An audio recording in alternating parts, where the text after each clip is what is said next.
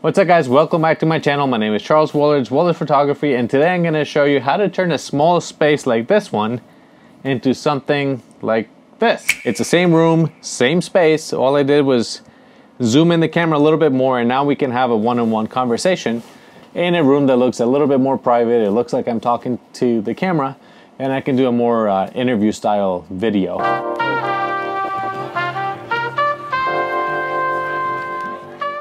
If you follow my channel, you know that I spend a lot of time on the road and that makes some of my videos a little bit tricky to make because as you can see, I don't have a lot of space. I'm in a motorhome uh, and even though I have enough room, it's still a little bit difficult to make it look more professional. So let me show you all the steps and all the gear that I use to turn this space into my recording studio. I'm also gonna be adding links in the description to all the products that I use uh, these are affiliate links through Amazon, so if you purchase anything through those links, it doesn't even have to be the item on the link. Uh, I get a small percentage from Amazon. This is a great way to support the channel, uh, and it, it gives me the flexibility to continue doing what I do, travel and living my best life. So one of the biggest things I use is this uh, curtain.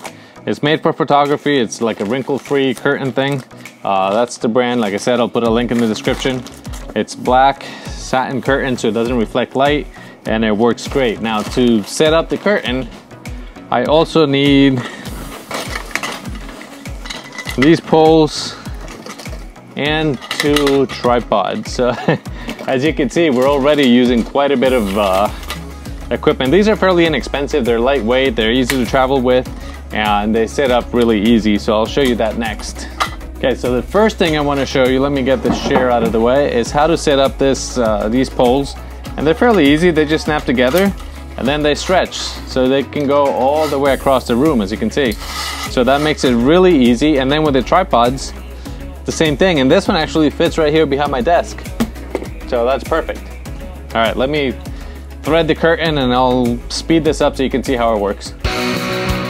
I'm gonna hurry up here so the video is not a 20 minute video.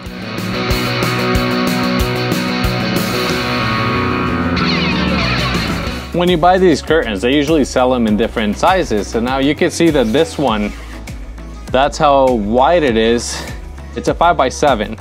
So instead of five feet across, I'm gonna use seven. And for this, I have my favorite tool, Gorilla Tape. This thing works for everything. It's like my favorite photography tool that's not photography. So now I'm gonna drape it across and tape it because it, it doesn't have to be that long. I can work with the height because I'm gonna be sitting down, so it doesn't have to be that tall. So I just drape it across, that gives me more length, and I am able to just tape it to the back and hold it steady, like this.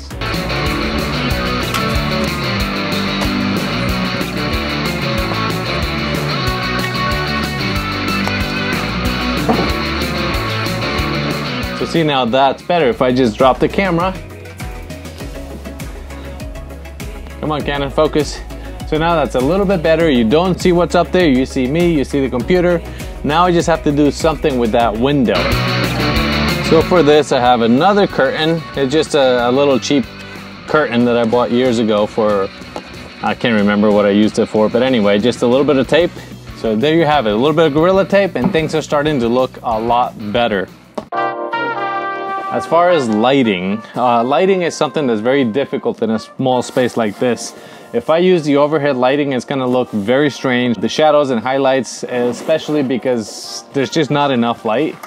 So I use these, they're flat panel, uh, Neewer LED panel lights, LED lights. You can make them warm or you can dim them. You can either use batteries or uh, plug-in electric. And I choose to plug them in. These lights put, have plenty of power uh, and they do an amazing job. Now these, this is a light diffuser. Uh, it's a pop-up. Ideally, you would want to use something that's very deep and that softens the light a lot, but I don't have the space to have a very deep diffuser. So I just use these and it definitely helps. Um, in the past, I've used two or three lights. Right now, I'm only using one and I'm gonna put this diffuser on it so you see what it does. And there you have it. It changed the mood completely. Just one diffuser on the light and things look a lot softer, starting to look a lot better. But there's more.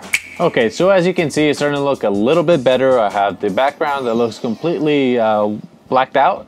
Uh, things are looking good. I have one diffuse light, the one of those Neewer lights with the diffuser, so it's a little bit softer light. Uh, unfortunately, has to be fairly close to me because space restrictions, but so far it's looking pretty good. There's one more thing I like to add, and that is a different light color, which I use my little Lume Cube um, light thingy. So let me show you this real quick. You push and hold. It's on and I can change the brightness and also the color temperature. So right now I'm looking for a very warm light to cast on this side of my face. So I have a cool light and a warm light and that's the effect I'm going for. If I set this light about 50%, it should give me about three or four hours worth of light uh, how is 30%? I think 30% is good. I could see it here in the in the viewfinder. Maybe let's go to 45 uh, at a warm light. And I'm gonna use this little tripod. I don't even know what it is. I've used it in the past for many things. So I'm gonna set it on the couch here. Okay, I made it a little bit brighter, so that gives me about two hours worth of light. But as you can see, it's giving me a little bit of warmer light on this side while I have a cooler light on this side.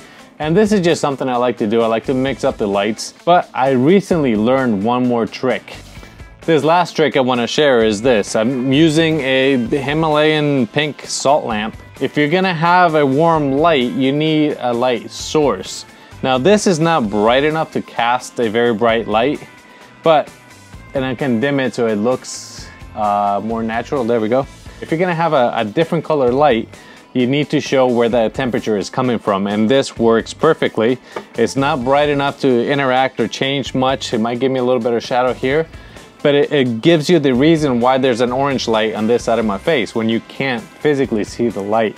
So this helps tremendously. Uh, and that's pretty much it for this set. Uh, there's a couple of changes I can do and I'll show you that here real quick. By changing the chair,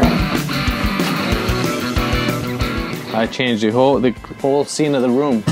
And now I can be here having a conversation with you and it looks like we're in a completely different space. If I put the the Lume Cube behind me and let me drop this here because now I can see the uh, the top. So if I drop the tripod and there's a completely different setup and all I did was change the uh, chair I was using and just move the camera so I have completely back background and by adding this light behind my head, you get a completely different uh, feel. It's the same room, same space. All I did was zoom in the camera a little bit more and now we can have a one-on-one -on -one conversation and I can do a more uh, interview style video. So uh, as you can see, pretty simple. Talking about the audio, the audio is very important too. Uh, for these videos, when I'm indoors like this, I continue to use the, what is this? Who makes these? The Rode Go 2.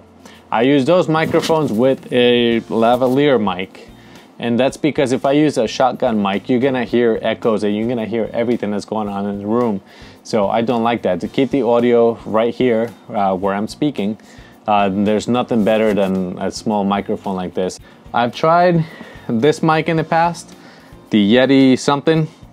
Not a big fan, uh, worth trying, but it's uh, not for me. The curtains, everything helps um, dampen that noise, but there's to me there's nothing better than just having the mic on you and then tweaking it in uh, in post just to make it sound like you want it to sound. As you can see, this is a fairly simple way to set up a studio. I mean, it does have a lot of steps. Uh, I think it looks better than just having the the old setup like it was. I like the, the more intimate feel of just being one-on-one -on -one with the camera. So this is where I go in the back and I trim my beard a little bit and change my shirt and then come back and film another video because when I do this, I like to film two or three videos at a time. Uh, that way it gives me time to process and edit and I don't have to worry about setting up this every time I want to make a video indoors. So thank you very much for watching. Don't forget to like and subscribe and I will see you in the next video, which could be I don't know, anytime. Bye.